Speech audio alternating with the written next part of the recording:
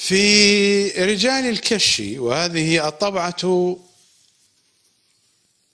طبعة مركز نشر آثار العلامة المصطفوي إنها الطبعة الرابعة 2004 ميلادي طهران إيران. صفحة 463 رقم الحديث 883 محاورة مهمة جرت بين الواقفة وإمامنا الرضا صلوات الله وسلامه عليه ولعنة الله على الواقفة من أولهم إلى آخرهم. موطن الحاجة في هذه المحاورة صفحة 464 الذي كان يحاور الإمام يجادل الإمام هو البطائني اللعين. إمام الواقفة المرجع الشيعي الأول. حينما كان إمامنا الكاظم حبيسا. في السجون في طوامير بني العباس. الجدال طويل أذهب إلى موطن الحاجة منه. فقال له أبو الحسن إنه إمامنا الرضا. فقال له أبو الحسن يقول للبطائني ومن معه من الواقفة لعنة الله عليه. فقال له أبو الحسن فأخبرني عن الحسين بن علي كان إماما أو كان غير إمام؟ ماذا تقول أنت؟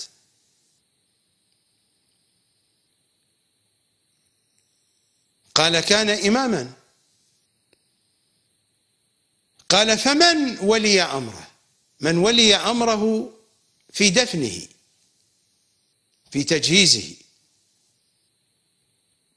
قال علي بن الحسين البطائني يقول لأن الأمر كان معروفا عند الشيعة. البطائني هذا كان من شيعة أهل البيت ومن علماء شيعة أهل البيت. في نظر الشيعة قطعا. وإلا فإن الإمام الكاظم كان يقول له أنت وأشباهك أنت وأتباعك أشباه الحمير. أشباهك أشباهك من المراجع أتباعك من مقلديك. أنت وأتباعك من أشباه الحمير.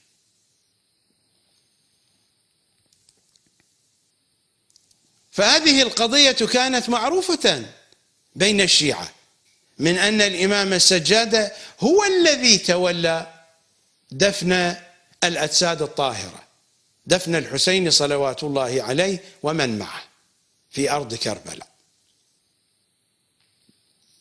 ولذا فإن الإمام الرضا يحتج على البطائن بأمر معروف لا يستطيع أن ينكره. فقال له أبو الحسن إمامنا الرضا فأخبرني عن الحسين بن علي كان إماما أو كان غير إمام؟ قال كان إماما. قال فمن ولي أمره؟ في مسألة الدفن والتجهيز. قال علي بن الحسين.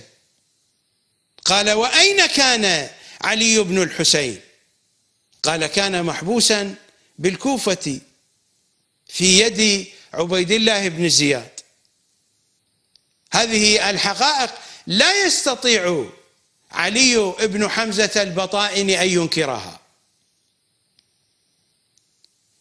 البطائني هذا كان تلميذ أبي بصير.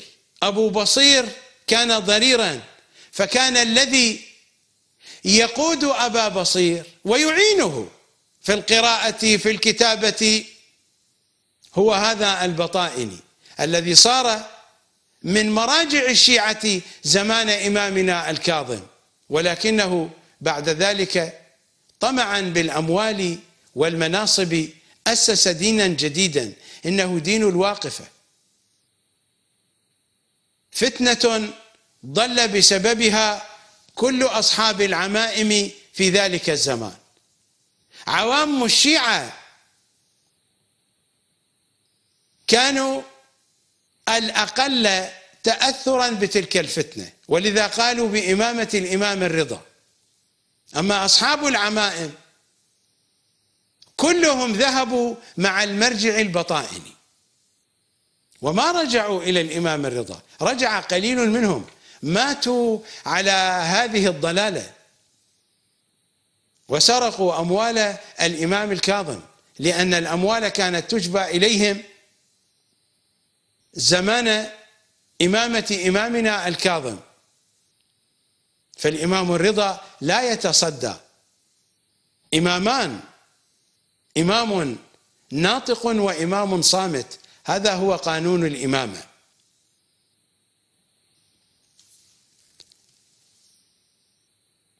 قال فمن ولي أمره؟ من ولي أمر الحسين؟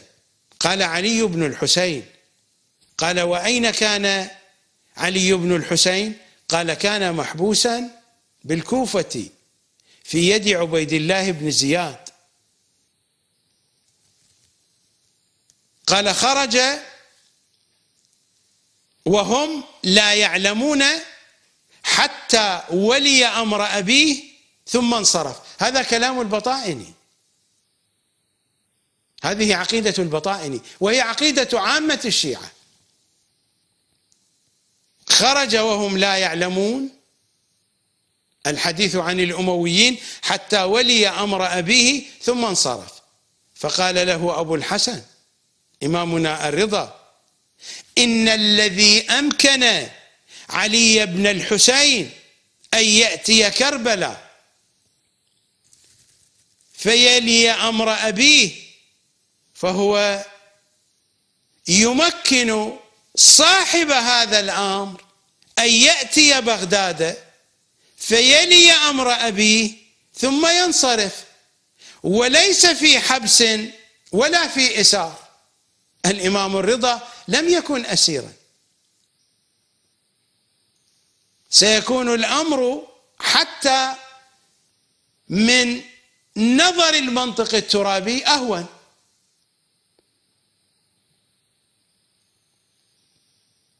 الواقعتان كل واقعة فيها جهة سهلة وجهة صعبة. بالنسبة لواقعة دفن الحسين فإن جسد الحسين كان على الرمضاء. لم يكن تحت يد الأمويين. الإمام السجاد كان في قبضة الأمويين. واقعة دفن إمامنا الكاظم صلوات الله عليه. الإمام الرضا لم يكن في قبضة العباسيين لكن جسد الإمام الكاظم كان في قبضة العباسيين. فكل واقعة فيها جهة سهلة بلحاظ المنطق الترابي وجهة صعبة. كل واقعة من الواقعتين. لكن بالنسبة للإمام المعصوم لا يوجد أمر عسير. بالضبط مثل ما قال إمامنا الرضا صلوات الله وسلامه عليه إن الذي أمكن علي بن الحسين وذل كل شيء لكم. يمكن صاحب هذا الأمر أن يأتي بغداد فيلي أمر أبيه ثم ينصرف. اولا الأمر معروف عند الشيعة من أن الإمام السجاد هو الذي تولى دفن الأجساد الشريفة من خلال هذه المحاورة. وثانيا إمامنا الرضا قرر ذلك. أثبت أن الإمام السجاد هو الذي تولى دفن الأجساد الشريفة في كربلاء. هذه محاورة مهمة جدا. الذين يبحثون في هذه المسألة عليهم أن ينظروا إلى هذه المحاورة. محاورة مهمة جدا ترتبط بموضوع دفن الأجساد الشريفة في كربلاء. أعيد قراءة ما قرأته عليكم تدبروا فيه بدقة. هناك أمران واضحان. الأمر الأول. إمامنا السجاد هو الذي تولى أمر دفن الأجساد الطاهرة في كربلاء كان أمرا معروفا عند الشيعة. ولذا جاء من بديهيات المحاورة. وثانيا إمامنا الرضا قرر هذا الأمر. لو لم يكن هذا الأمر موجودا وحقيقيا هل يقرره الإمام الرضا؟ وهل يحتج به على البطائني وغيره؟ فهذا تقرير حقيقي من قبل إمامنا الرضا لهذه الحقيقة. أية حقيقة؟ أن إمامنا السجادة هو الذي تولى دفن الأجساد الطاهرة في كربلاء. بعد النقاش والجدال مع البطائن إمامنا الرضا قال له فقال له أبو الحسن. فأخبرني عن الحسين بن علي. كان إماما أو كان غير إمام؟ قال البطائني كان إماما. قال فمن ولي أمره؟ من ولي أمره في تجهيزه وتدفينه. قال علي بن الحسين. هذا جواب البطائني الإمام قال له وأين كان علي بن الحسين؟ فأجاب البطائني كان محبوسا بالكوفة في يد عبيد الله بن زياد. واستمر في كلامه. خرج وهم لا يعلمون. حتى ولي أمر أبيه ثم انصرف. فقال له إمامنا الرضا فقال له أبو الحسن إن الذي أمكن علي بن الحسين أن يأتي كربلاء فيلي أمر أبيه فهو يمكن صاحب هذا الأمر أن يأتي بغداد فيلي أمر ابيه ثم ينصرف. وليس في حبس ولا في إسار لم يكن محبوسا ولا اسيرا يتحدث عن نفسه. فهذه المحاورة تثبت لنا أمرين. تثبت لنا أن الإمام السجاده هو الذي دفن سيد الشهداء. وتثبت لنا أن الإمام الرضا هو الذي دفن إمامنا الكاظم. لأن الإمام الرضا تحدث عن هذين الموضوعين في هذه المحاورة. ومن هنا فإن المحاورة هذه مهمة جدا للذين يريدون البحث في الموضوع الذي نحن بصدده. فهذا حديث الأئمة عن إمامنا السجادي يتولى دفن الأجساد الطاهرة يتولى دفن أبيه الحسين وسائر الأجساد الطاهرة. نص آخر.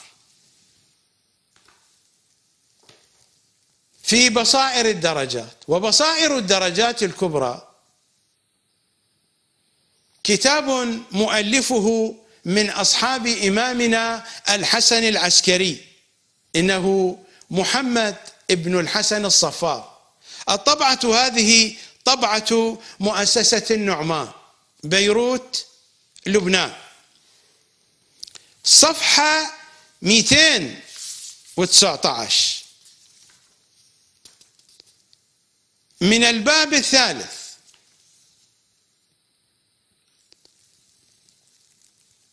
إنه الحديث السابع عشر.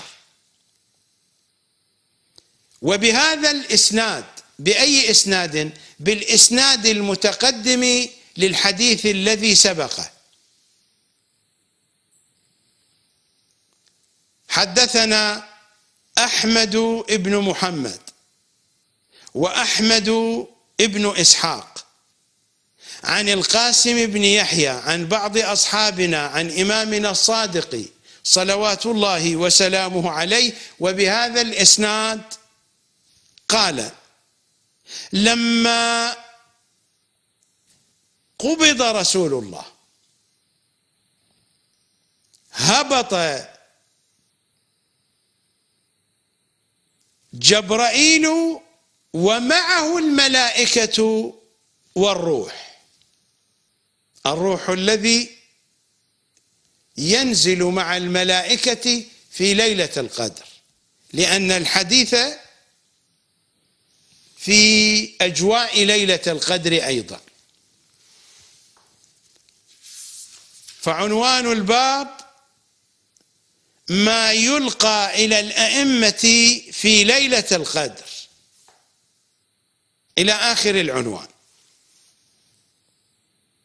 لما قبض رسول الله هبط جبرائيل ومعه الملائكة والروح الذين كانوا يهبطون في ليلة القدر.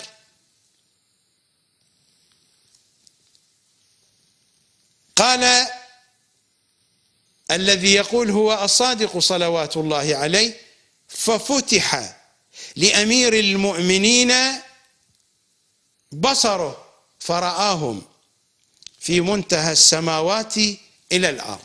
قطعا هذا الكلام في أفق المدارات وإلا فإن الحقيقة ما من ملك يخطو خطوة في السماوات إلا بأمر من الإمام المعصوم إلا بأمر من أمير المؤمنين. ما من ملك يخطو خطوة واحدة. هذه عقيدتنا. وهذا الكلام ما هو كلامي. هذا ورد في رواياتهم وأحاديثهم. تريدون أن تقبلوه؟ أنتم أحرار. تريدون أن ترفضوه؟ أنتم أحرار. بالنسبة لي لا يشكل هذا شيئا. إذا وافقتموني أو رفضتم حديثي. النفع والضرر مرتبط بكم. إذا كان هناك من نفع فإنه يعود عليكم في اعتقادكم السليم. وإذا كان هناك من ضرر فإنه يعود عليكم أيضا. إذا كان اعتقادكم ليس سليما. ولذا احترموا عقولكم. ودققوا معي فيما أقول. وعودوا إلى البرامج السابقة. نصيحتي التي أكررها للجميع عودوا إلى مجموعة حلقات أعرف إمامك وادرسوها جيدا. يا شباب الشيعة من أبنائي وبناتي عودوا إلى مجموعة حلقات أعرف إمامك. ادرسوها وتدارسوها دائما. إنها لباب العقيدة السليمة. على أي حال أعود إلى الرواية. لما قبض رسول الله هبط جبرائيل ومعه الملائكة والروح الذين كانوا يهبطون في ليلة القدر. قال الصادق ففتح لأمير المؤمنين بصره فرآهم في منتهى السماوات إلى الأرض. يغسلون النبي صلى الله عليه وآله معه. كانوا مع أمير المؤمنين يغسلون النبي ويصلون معه عليه. يغسلونه يغسلونه ويصلون معه عليه. معه مع أمير المؤمنين يصلون على رسول الله. ويحفرون له. والله ما حفر له غيرهم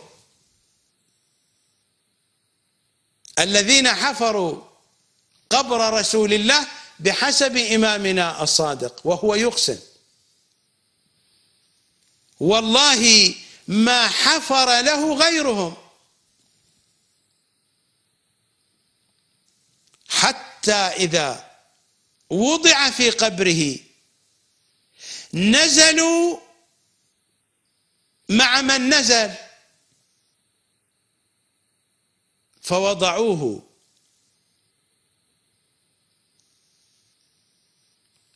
فتكلم. وفتح لأمير المؤمنين سمعه. فسمعه.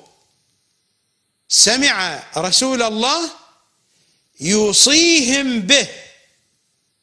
رسول الله يوصي جبرائيل والملائكة والروح بأمير المؤمنين.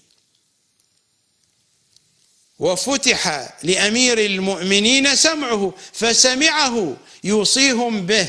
رسول الله يوصي الملائكة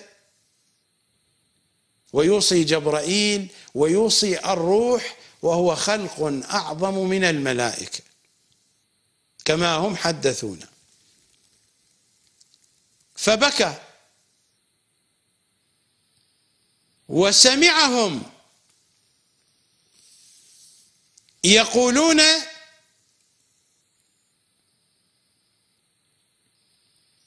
من أنهم لن يألوا جهدا في ذلك وإنما هو صاحبنا. الطباعة خاطئة يقولون لأنالوه وإنما يقولون لا نألو جهدا أو لا نألوه جهدا وإنما هو صاحبنا بعدك. إلا أنه ليس يعايننا ببصره بعد مرتنا هذه. هذا الكلام في مستوى من مستويات العقيدة من أن الأوصياء لا ينظرون إلى الملائكة وإنما الملائكة تلهمهم إلهاما. الأنبياء هم الذين ينظرون إلى الملائكة. أنا لا أريد أن أتشعب في هذه التفاصيل. موضوعنا عن دفن الأجساد لكن الحديث في مستوى المدارات. حتى إذا مات أمير المؤمنين رأى الحسن والحسين مثل ذلك الذي رأى. رآه أمير المؤمنين عند دفن رسول الله. ورأي النبي أيضا يعين الملائكة. فالنبي كان حاضرا في دفن أمير المؤمنين وفي تجهيزه. ومن هنا قلت لكم من أن رسول الله كان حاضرا مع السجاد في دفن الحسين. هذا موضوع خارج عن بحثنا الآن لكن الرواية أشارت إليه بالإجمال.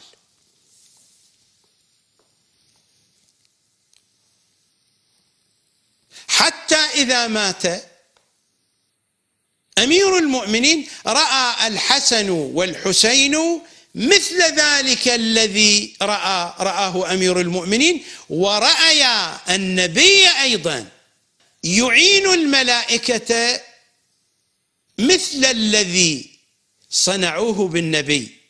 حتى إذا مات الحسن رأى منه الحسين مثل ذلك. ورأى النبي وعليا يعينان الملائكة. فكان النبي وكان أمير المؤمنين حاضرا في دفن الحسن. قطعا الزهراء حاضرة. لكن الحديث في أفق المداراة كما قلت لكم وبمستوى الإجمال. لو كنت بصدد شرح هذا الحديث لحشدت لكم الأحاديث التي توضح الحقيقة الكاملة.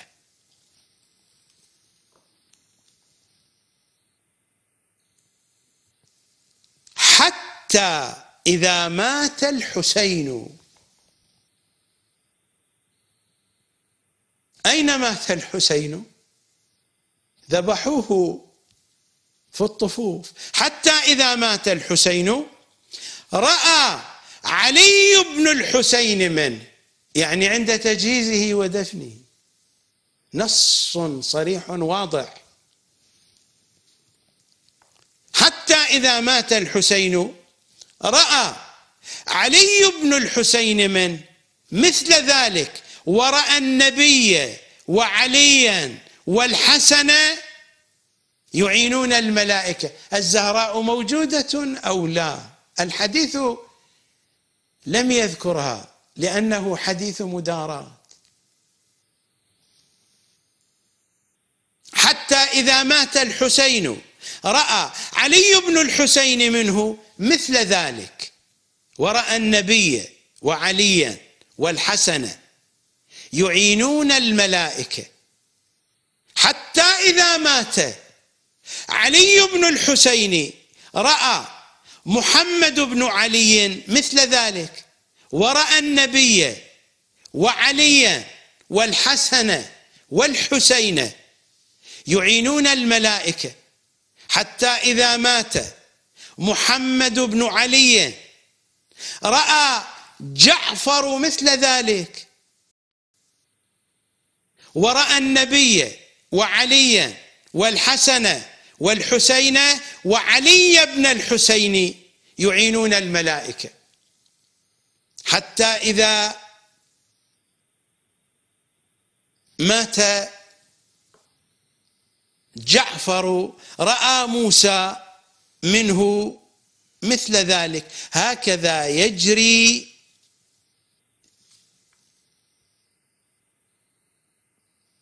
إلى آخرنا. الحديث عن إمامنا الصادق صلوات الله وسلامه عليه فحينما يتحدث عن موسى بن جعفر يتحدث عن أمر مستقبلي.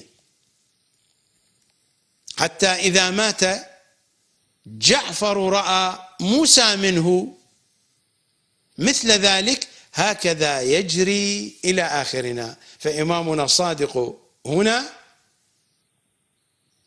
يشخص الإمام من بعده وهو إمامنا الكاظم وهو الذي يتولى أمر أبي. الرواية واضحة وصريحة جدا بخصوص كل المعصومين.